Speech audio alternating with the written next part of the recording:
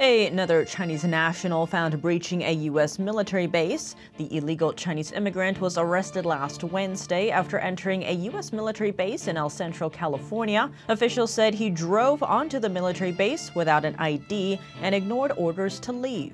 The man has been taken into custody, and an investigation into the case is underway. The incident comes as a growing number of Chinese nationals posing as tourists have tried to enter U.S. military bases, and concerns about Chinese espionage are growing as more single Chinese men come through the southern border. Over there, the number of illegal Chinese crossers are hitting a record high. Over 24,000 of them entered the border illegally last year. That's a 1,000% spike compared to the year before.